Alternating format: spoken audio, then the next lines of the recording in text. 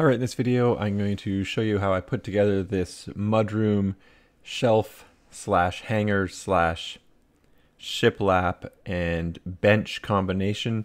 And the bench has two compartments where I'm going to slide some bins. Anyway, I'll get uh, get onto this. It is a bit of a longer video, but try and uh, make it as short as possible.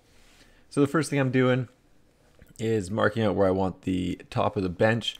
For this, I'm putting it at about 18 inches I just sort of took a existing bench that was in the house and sort of teed it off that. So I'm marking that on the wall. And my camera does have a lot of trouble focusing at these close distances. Kind of a bummer. And I'm using maple for all this. I measured the back at about 36 inches. So I cut a two and a half inch by three quarters inch maple for the back. Like I said, about 36 inches. And then the remainder is about 14 inches for those two smaller pieces. So these are the pieces I'm going to use to support what is going to be the maple plywood. I use pre-stain treatment on the boards. Just brush that on with a foam brush and let it sit for about 10 minutes. And then I came back and applied wood stain. What the pre-treatment does is just help the stain take a uniformed appearance across the board. I don't know if it actually does that much. I always find sometimes it's inconsistent and sometimes it's not. Anyway, I use foam brushes to put on the stain on these maple boards as well. And these are just Home Depot maple boards. They're not like really nice, but uh, they're good for what I'm using them for, I suppose. And once this stains on, you need to let the board sit for about 10 minutes. And then I come back and wipe the stain off. There's other ways you can do it, but that's the way I did it. So I tried to stay consistent. Like I said, pre-treatment, then add the stain, let it sit for 10 minutes, and then come back with some cloths and wipe off the excess stain.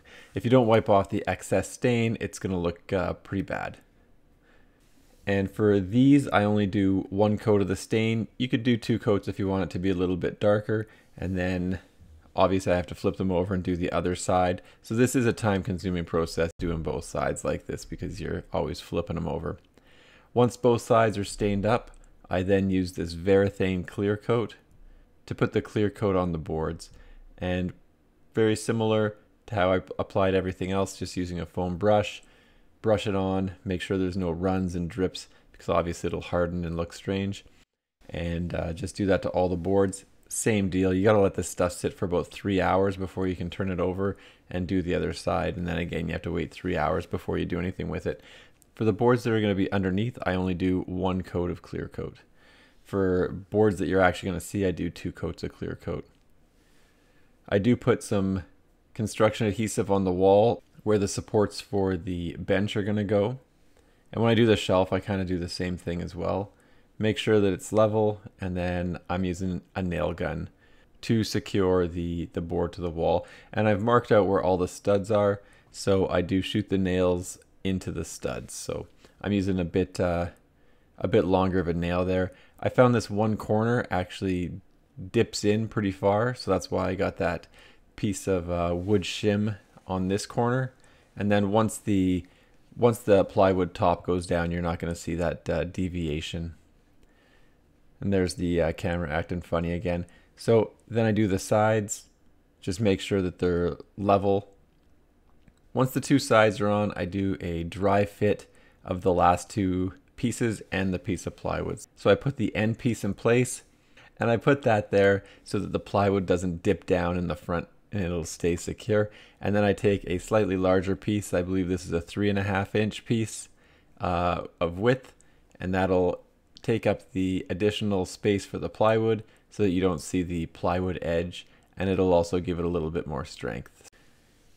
Now I'm going to go cut my plywood and it's about 17 by 36 ish, give or take. I do have a pre made cutting jig that I use for cutting straight lines on lots of my larger sheet goods, and that just lets me use my circular saw for it. So I just sort of marked out the 36 and uh, lined up my cutting jig on it and then, then cut it.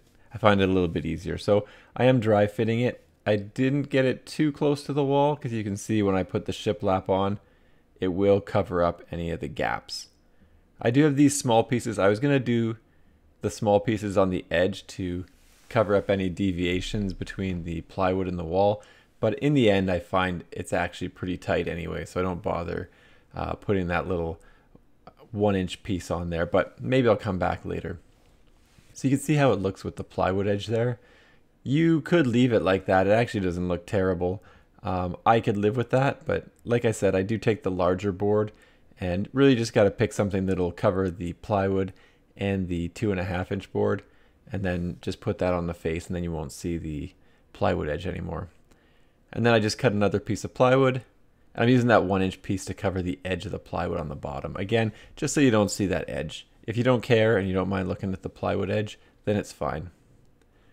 To try and speed up the, the staining and clear coat process on these things, I did uh, bang some nails into the ends of everything and then just sort of do it rotisserie style so I can get both sides at once and cut my time in half here.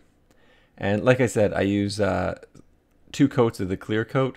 So I use 320 grit sandpaper after I do the first coat of clear coat. Then I do the second coat of clear coat. And like I said, I do that for anything where you could actually see it. If you can't see it, I didn't really bother with it. So just did a quick dry fit with the plywood, then I'll lay down some glue, or in this case construction adhesive, and then I'll set the top of the bench seat onto the boards. And then obviously I've screwed in the front piece there. I am using a brad nailer, so the pretty much the smallest air nailer possible to just sort of fix the bench seat down to the solid maple supports. And then for the the board covering the frontage, Obviously, I did use construction adhesive again, and then I used some brad nails from the back, and I also used a few screws from the back, so just little one inch screws that would uh, not penetrate all the way through.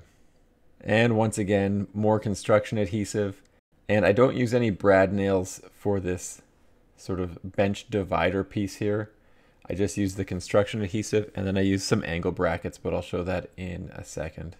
And then again, just to cover the plywood edge. I'm using that one inch board. So construction adhesive, put the board in, and then I'm using, once again, just brad nails. Really tiny nails, you could hardly see them once they're, uh, once they're in place. So that's the bench pretty much done. And like I said, how I secured the bench to the back so it wouldn't be floppy is just used angle brackets. So just bought a bunch of those from Home Depot and screwed them into the bottom, the tops. In the end, I used about uh, six of them to secure the uh, the divider there to the the bench seat.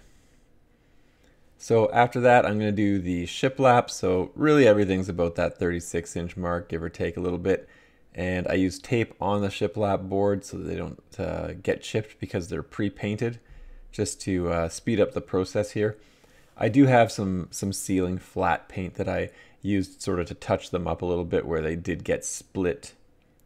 But uh, uh, any touch up was very minor, so it wasn't that big of a deal. Once again, using construction adhesive, and I do shoot nails through the, the top of the boards only. Uh, you could, I guess, shoot them through the bottom as well, but then you'd see them. So it's almost like a tongue and groove system, just going through the top, I guess, tongue you don't really see the nails. In fact, you don't see the nails at all. And one, once again, that back corner is a little bit dipped back just right there. So I do just use some the construction adhesive. So when it dries, it'll obviously be solid there. Really the, the shiplap, everything just sort of goes together now. So just keep cutting the pieces the same width. I do find that it sort of gets a little bit wider at the top, adds about a quarter inch as it goes up. So that kind of screwed me over for one piece, but that's okay.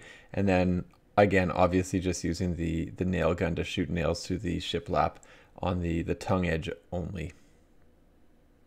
And I think you get the idea now, but there's one more piece of shiplap going in. Pretty simple, glue it, nail it, make sure that it's well secured, and then move on to the next piece. Very simple. So there's all the shiplap that I'm going to do. Like I said, because obviously I'm going to put that shelf in up top.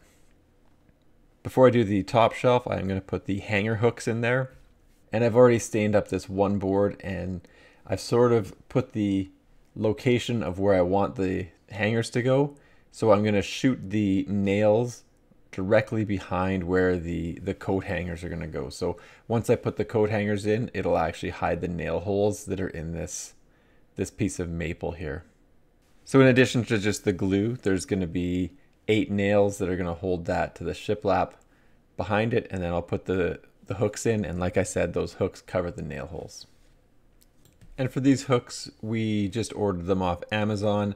I think they came in like a ridiculous 10 pack or something. So I got a whole bunch of hooks kicking around the house. I'll figure out what I can do with those in the future. But definitely they were pretty cheap and they're good.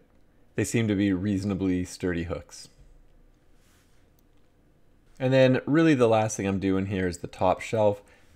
All the boards are done in the exact same way with the pre-treatment, the stain, and then the clear coat. For everything up top, I do two coats of the clear coat because obviously you're going to see everything.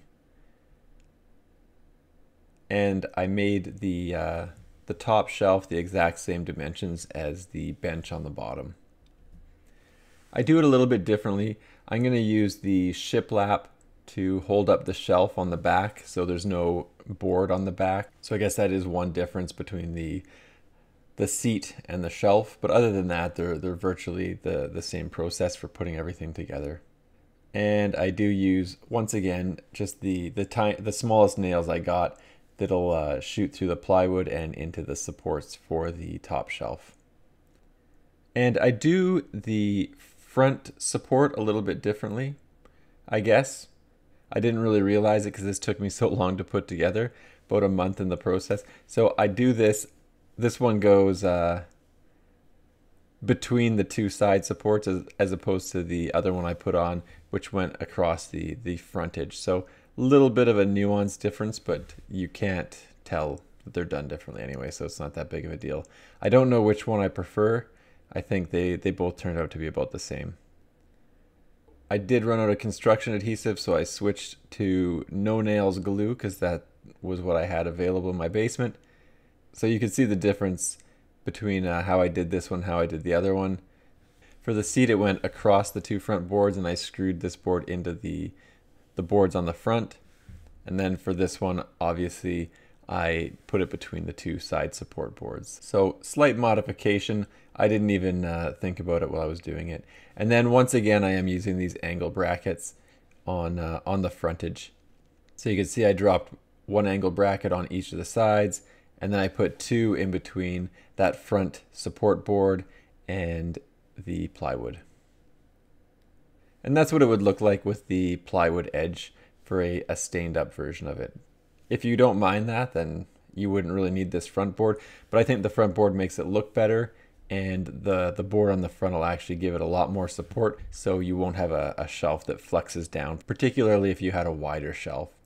So it gives you a, a double board up front. Once again, I use some glue, put that down, and then I shoot some brad nails from the back forward. And again, you can't really see them on the back anyway, and they're not long enough to go all the way through the front.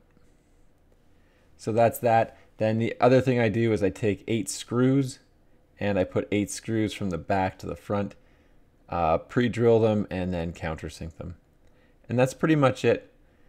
So overall, this took a really long time because of all the staining I had to do and clear coating. Just the assembly is actually not that hard or not that time consuming. It's just when you want to stain it and clear coat and all that stuff.